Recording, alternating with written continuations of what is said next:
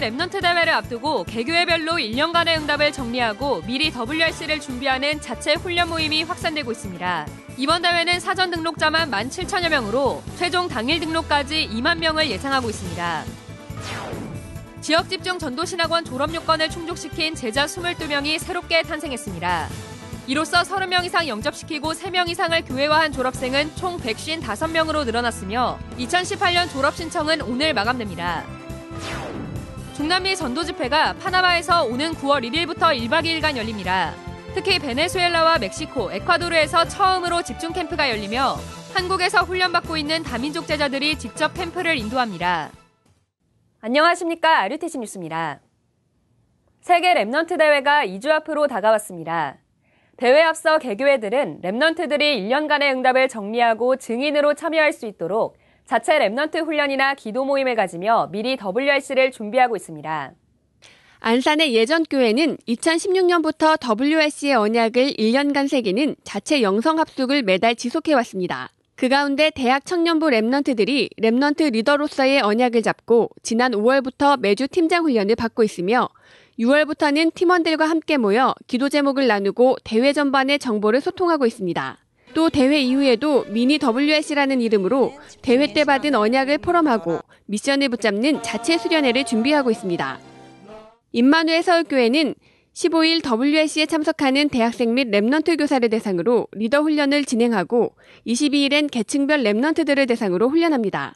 WRC 이후에는 자체 수련회를 열고 대회 때 받은 언약을 새기고 미션을 붙잡는 시간을 가질 예정입니다. 예원교회는 오는 21일과 28일 각각 WRC에 참여하는 중고 Remnant 200여 명과 함께 대회 기도 제목을 나누며 소통하고 대회 하루 전날인 30일엔 모든 참가자가 밤기도회를 갖습니다. 안양 동북교회는 지난주부터 팀장 훈련을 매주 금요일 1박 2일 동안 교회에서 실시하고 있습니다. 20여 명의 팀장들은 WRC의 언약을 새기고 함께 기도하며 대회를 준비하고 있습니다.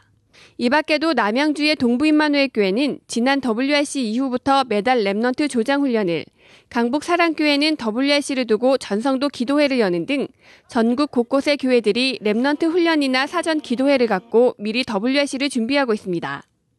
지역 집중 전도신학원 졸업 요건을 충족시킨 제자 22명이 새롭게 탄생했습니다.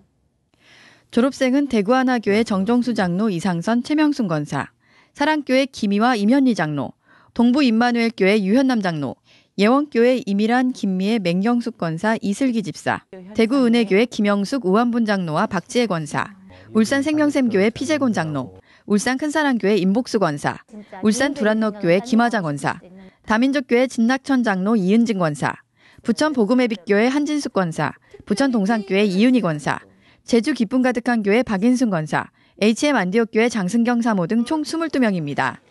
이들은 자신의 현장에서 8가지 미션을 발견해 30명 이상을 영접시키고 3명 이상을 교회화했으며 전도제자 졸업 및 파송식은 오는 10월 23일 화요 집회 2강전에 열립니다. 한편 지난 9일부터 필리핀에서 집중신학원이 개설돼 필리핀 총신 신학생과 선교사 52명이 훈련받고 13일부터 가스펠 렘넌트 교회 훈련이 진행되고 있습니다.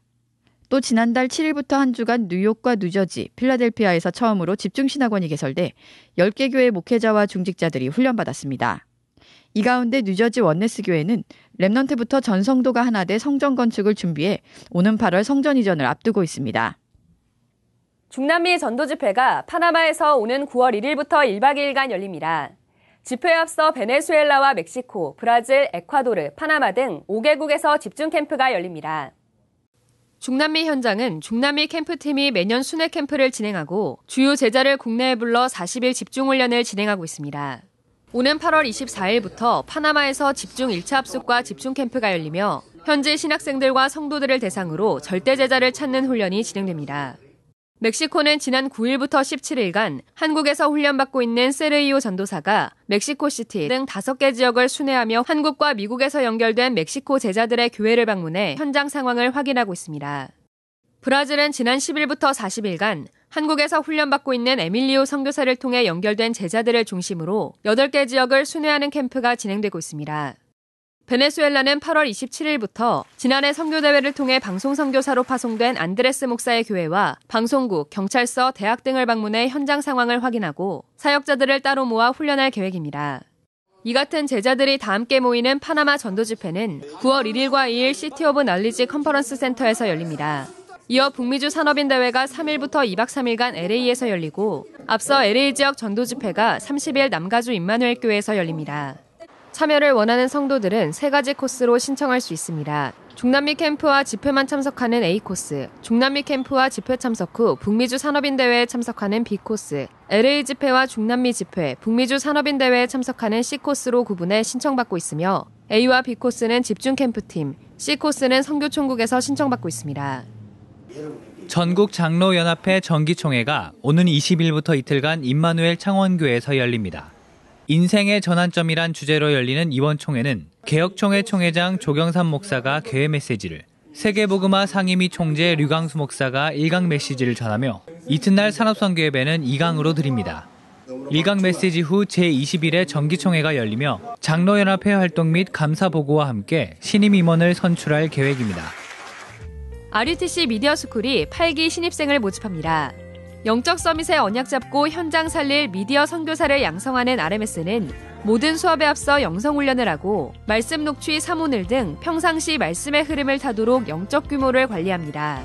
먼저 새로 개편된 전문인 반은 프로그램 기획부터 촬영, 편집 등 제작까지 실제 작품을 만들어 개인 포트폴리오를 완성하도록 지도합니다. 또 전문인과 함께 RUTC 방송 단편 프로그램 제작에 참여할 수 있으며 수강 이후엔 타 방송사 및 제작사 인턴십 또는 취업으로 연계할 예정입니다.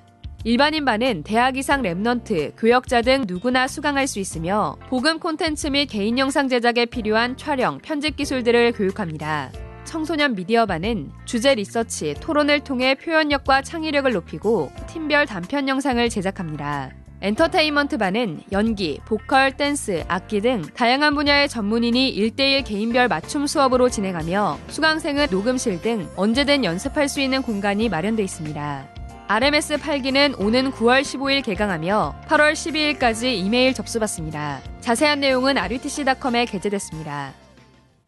Remnant 대학교 RU가 A동 학교 건물과 C동 본당 건물 공사를 마무리하고 B동 다목적 건물 리모델링을 준비하고 있는 가운데 RU를 마음 담은 헌금이 이어지고 있습니다. 교회를 밝히지 않은 박윤경 성도가 천만 원, 이름을 밝히지 않은 한 성도가 900만 원을 헌금했고 개혁총회 교육부장 정학채 목사가 500만 원, 개혁총회 교육부 일동이 500만 원을 각각 헌금했습니다. 또 지난 안류주의를 통해 부산의 임마누엘 교회에서 2,880여만 원, 임마누엘 서울교회가 2,300여만 원, 아시아의 반석교회가 2천만 원, 대구 하나교회가 1,500만 원을 헌금하는 등 전국 89개 교회와 중직자들이 총 1억 6,600여만 원을 헌금했습니다. 공지사항입니다. 하계 강사단 훈련이 오는 18일 덕평 RUTC에서 있습니다. 군합숙 훈련이 오는 8월 5일부터 3박 4일간 진행됩니다.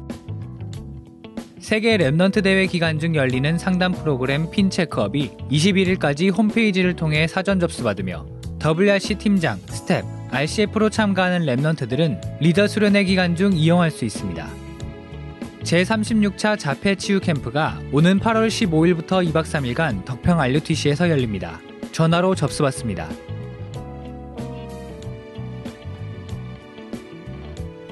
주요 일정입니다. 새가족 수련회가 오는 17일 덕평 RUTC에서 열립니다. 지난 한 달간 열린 부천 지역 전도 전문 집중훈련은 부천과 인천의 작은 교회들이 훈련에 참여해 목회자들이 먼저 힘을 얻고 Remnant 살리는 중직자들에게 미션을 전달하는 시간이 됐습니다.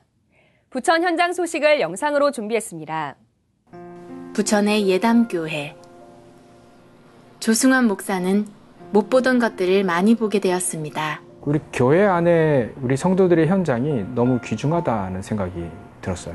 안 가고 없는 곳, 또 불가능하다고 생각하는 현장들이 교회 안에도 있더라고요, 우리 성도들의. 성도들을 만나서 위로가 필요한 사람 위로주고, 힘이 필요한 사람 좀 같이 말씀 나누고, 그 중에 사명자들은 같이 전도하는, 아, 우리 교회 성도들이 상당히 중요하다라는 그런 마음속에 깊이 들어오게 되고, 먼저 우리 성도들이 제가 부족함에도 불구하고 많이 기다려 주셨다는 거, 게 제일 감사하고요. 우리 중자들하고 청년들 몇 명이 자기들 언약을 붙잡았더라고 비밀 결사대라고 그때부터 청년들이 훈련비를 대주더라고요. 예전에는 제가 받는 거에서 쪼개고 쪼개고 쪼개서 모아서 간신히 가고 어떨 때 못 가고 막 이랬는데 그런 분들이 계셔가지고 그래서 더 감사하게 그분들 놓고 또 기도하고 우리 성도들께 감사하고 제가 편안해 더 평안해져서 그런지 우리 성도들이 조금은 어, 예배나 이런 부분에 대해서 평안해졌지 않을까 그게 교회적으로 참 감사해요.